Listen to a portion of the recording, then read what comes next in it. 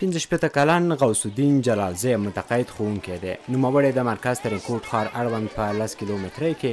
د بلوڅي سیمې اوسېدونکی دی دغه سیمه کې تر درې زره زیاتې کورنۍ ژوند کوي خو له تېرو څو لسیزو راهیسې پکې یو ښوونځی هم نه دی فعال شوی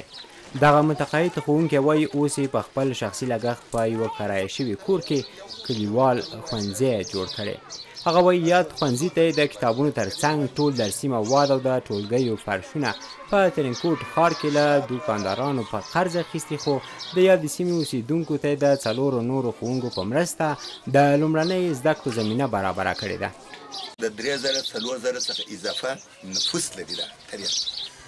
تاسو باور وکړئ چې په ټوله قريه کې موږ لوستی سړی نه لرو په پنځلس ورځې کې موږ وکولی شو چې تر دوه سوه نفره شاګردان اضافه دلته موږ ثبت نام د هغه جملې څخه تقریبا اویا تنه نجونې ماشومان ځینې دلته راځي کور مو نه درلودی اتاق مو نه درلودی دا کور چون دا قریه ده په قریه کې کرایي کورونه په مشکل پیدا کېږي نشته هر سړی د ځان لپاره یو کور لري بازار نه دی دا کور مو پیدا دی په پنځه زره کالدارې مو د میاشتې دا کور په کرایه ولیکه فرش نه و کتاب نه و قلم نه و کتابچه نه و دا ټوله فرش قلم کتابچه او نور شیان دا موږ د دوکاندارانو څخه په قرض واخیستله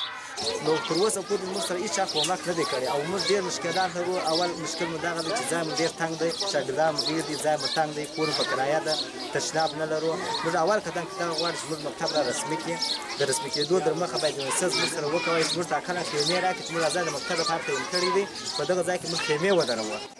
د سیمې اوسیدونکي وایي که د پوهنې ریاست له لوري ښوونځي ورته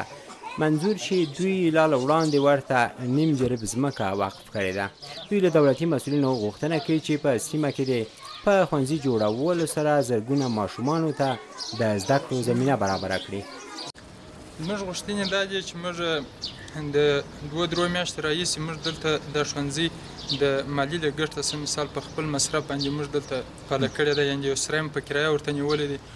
نو موږ د معارف د ریاست څخه دا غواړو چې مثال زموږ سره همکاري وکړي او کمک مرسته را سره وکړي موږ مځکه ورکوو چې دوی زموږ سره همکاري وکړي او مصرف را سره وکړي. د ارزګان د پوهنې ریاست هم د مرکز ترینکوټ اړوند په یو شمېر سیمو کې د ښونځیو نه شتون مني خو وایي د دغو سیمو لپاره به د بودجې تر برابرولو وروسته د ښونځي جوړولو اقدام وکړي. او د مکاتیبو پر برابر باندی چی موږ ته کوم د وزارت لخوا څخه خبره وسوه چی په نوی ځایو کی مکاتیب چی شکی جوړ کړی او د هغه مکاتیبو بناوی وکړی تعمیرونه ور برابر کړی هغه پلانونه موږ لرو دغه ساحه مستحقه ده په دغه ټوله ساحه کی مکتب بنا نسته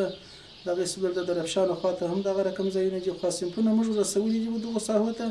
خو د مکاتیبو پر برابر باندی تر اوسه پوری موږ ته د مشرانو لخوا څخه هدایت نه دی سوی چی ته یی دغه بناوی ورته جوړی کړی یا نو هغه یی څه مصرف بودجه غواړی نو مصرف بودجه د رقم التیت نه معلومیږی چی تر اوسه پری دی سی نظم او طریقه نه ده برابر. روزګان کې دا مهال درې سوه پنځلس بابا ښوونځي شته چې له ډلې دوه دېرش بابا د تېرو جګړو پر مهال تړل شوي او تر اوسه هم نه دي پرانیستل شوي. د سیمې اوسیدونکي وایي اوس جګړه درېدلې او تړل شوي ښوونځي دې بیرته فعال شي